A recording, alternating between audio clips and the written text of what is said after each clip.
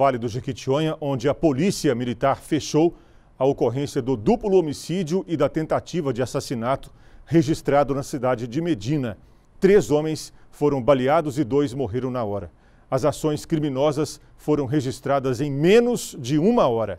O tenente Danilo Guedes esclarece esse assunto. No local, eh, os militares eh, depararam com um veículo Ford Fusion de cor preta, aí, parado no centro da cidade é, o qual assentava várias marcas, vários orifícios aí de, de provenientes de disparos de arma de fogo. É, foi constatado também que havia uma pessoa já sem vida no local. A perícia técnica foi acionada na dos fatos, tendo constatado 10 perfurações aí no, no automóvel, na região do capô e vídeo dianteiro. É, no condutor, é, foi constatado sete perfurações em seu corpo, provenientes de munição de .45, 9 milímetros. É, foram entrevistadas duas, duas pessoas aí que estavam no veículo também. É, um deles falou que havia chegado é, um outro veículo de cor clara, é, o qual interceptou esse veículo que eles estavam.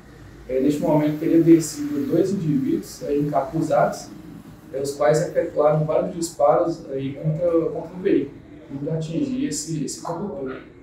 Logo em seguida, esse, esse outro ocupante teria fugido do local e se dirigido até o hospital. Um outro ocupante que também estava no veículo, ele conseguiu fugir, mas foi atingido de raspão na região do pescoço, é, causando lesões leves. É, neste mesmo momento também foi a Polícia Militar e a Polícia Civil que estavam no local é, foram informadas de outro homicídio aí ocorrido no bairro Várzea Grande, é, também na cidade de Medina. É, no local, é, os militares depararam já com um corpo de um indivíduo já sem vida, aí com seis, seis perfurações em seu corpo, em vários locais aí do, da, da região corporal do indivíduo, no tórax, costas. É, segundo testemunhas, eles não sabem informar nada, também não tem sistema de monitoramento nesse segundo fato.